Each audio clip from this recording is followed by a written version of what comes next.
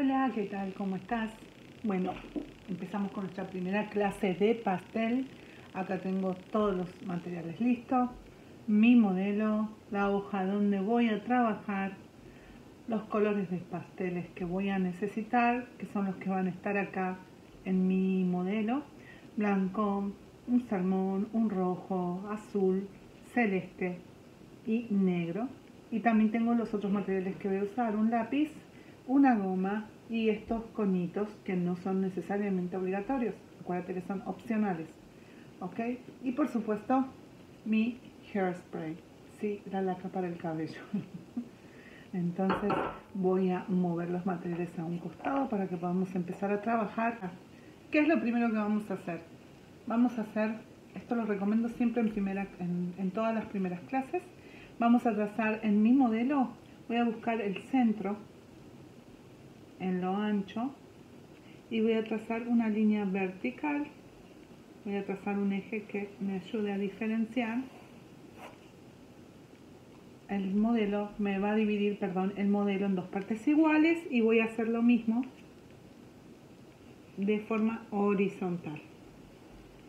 La verdad no estoy muy segura que se va a ver bien lo voy a marcar con pastel blanco pero ustedes lo pueden hacer con cualquier tipo de material que ustedes puedan verlo ok la idea no es que quede perfecto, sino que quede lo más parecido posible.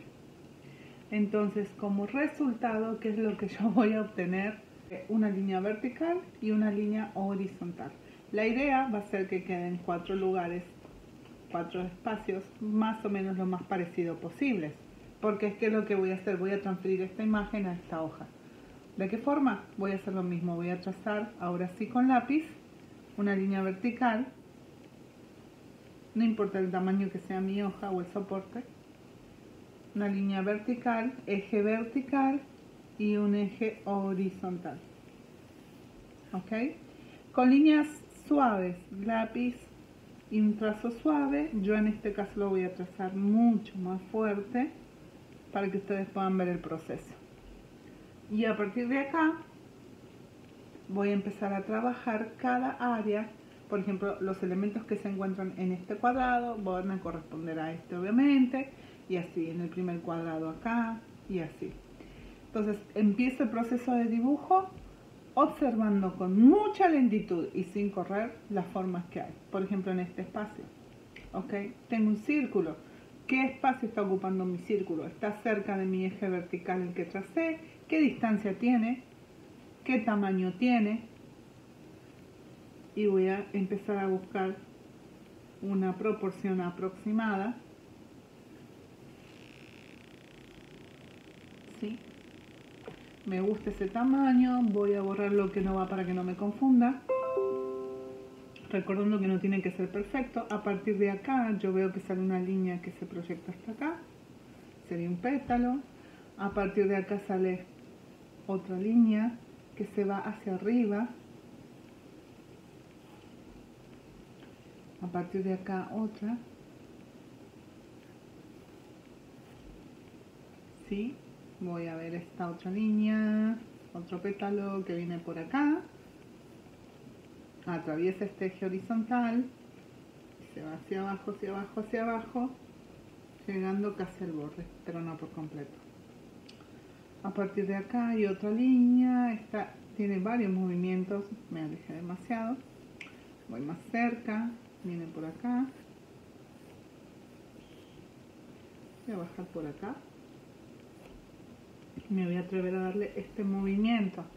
Recuerden muy importante sobre todo para cuando estamos iniciándonos. Podemos elegir ponernos obsesivos por la perfección o no. Si no nos ponemos obsesivos porque algo esté perfecto vamos a disfrutar mucho más el proceso.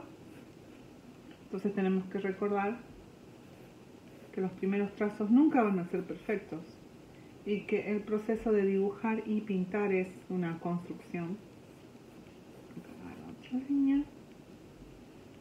Es una construcción constante, entonces voy a ubicar elementos, voy a ubicar líneas, voy a poner color que va a estar de una forma muy, muy eh, bonita a primera vista, muy correcta, pero eventualmente puedo darme cuenta que tengo que realizar modificaciones y eso es parte del proceso creativo. Eh, transformarlo. ¿Ok? Bueno, acá tengo mis líneas básicas. Tengo el centro, este círculo, que es el centro de la flor, más los pétalos. ¿Ok? Esto me gusta, ahora lo voy a mover un poco más acá. Acá también hay otro pétalo. Otra línea que bajaba. Voy a darle un poquito de pancita. Por acá también aparece otra línea. Y ok, una vez que tengo mi modelo, de esta forma voy a pasar al otro área, al área de pintura. Pero antes de pasar a eso, voy a borrar los ejes que no van.